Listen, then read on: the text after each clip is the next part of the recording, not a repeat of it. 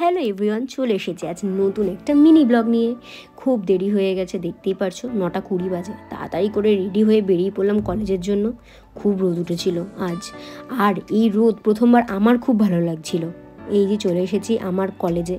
সব বন্ধুরা আমার জন্য ওয়েট করছিল। এতদিন পর কলেজ গেলাম, তাই খুব মজা হলো। একটু মারামারি করলাম, পাগলামি করলাম। এই যে এই যে এক পাগল। ও বলতে বলেছিলাম কিছু, কিন্তু কোল কী করল দেখেই নাও। আর এক পাগল আমার বইগুলো বলছিল। এত ভারী ব্যাগ ছিল আমার। আর এসব কচি কাঁচা বন্ধুরা আমার। তারপর ক্লাস শেষ, তাই নাচতে নাচতে যাচ্ছিলাম বাড়ি যাব বলে। তারপর এত ভারী ব্যাগ নিয়ে চললাম অটোতে উঠবো বলে। আমরা আস্তে আস্তে গন্তব্যস্থলের দিকে এগোতে চালু করলাম। অটোতে উঠলাম। জিবাবির কাছ দিয়ে যাচ্ছিলাম। এত সুন্দর বিরিয়ানির গন্ধ, লোভ ছিল। কিন্তু কী আর করব।